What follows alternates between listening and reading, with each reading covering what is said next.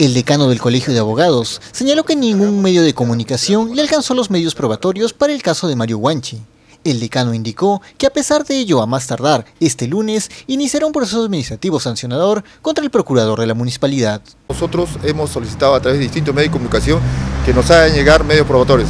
Hasta, el día, hasta la semana pasada, ningún medio probatorio nos hicieron llegar. Por lo tanto, nosotros a iniciativa del Ilustre Colegio de Abogados de TAN hemos cursado oficio a distintos medios de comunicación para que nos hagan llegar las pruebas pertinentes.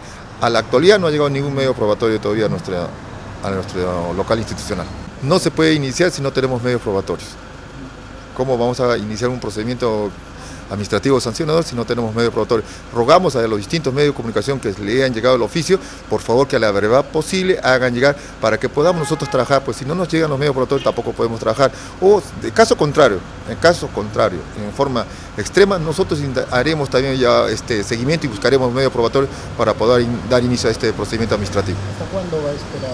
Este, esta semana voy a esperar, tengan en cuenta que es el día este primero de mayo del trabajador y distintas instituciones tienen compromisos ya asumidos. Entonces, puedo pensar de que por ese motivo no nos hacen llegar, pero de no haber llegado hasta el día lunes de la próxima semana, nosotros iniciaremos las gestiones para poder este, recabar todos estos medios probatorios y así dar inicio al proceso administrativo sancionador. La falta en la que habría incurrido el procurador municipal es la inconducta funcional en el cargo. Para ello, es necesario la investigación y la defensa respectiva de Mario Guanchi. Eh, lo que ha, infringido la inconducta funcional en el cargo, pero esos señores periodistas tengo que hacerles conocer de que todo eso se va a demostrar con un proceso, porque también él tiene su derecho a defensa, no se le puede privar de ese derecho, por lo tanto, cuando ya nosotros iniciemos de oficio, le vamos a correr traslado al abogado Mario Guanchi Guanchi para que él pueda hacer uso de su derecho a defensa y pueda hacer los descargos correspondientes. En la actualidad no he tenido ninguna comunicación con él, pese a que nuestro despacho de Ilustre Colegio de Abogados está abierto en horas de oficina. En el caso, el Colegio de Abogados abogado sancione a Mario Guanchi,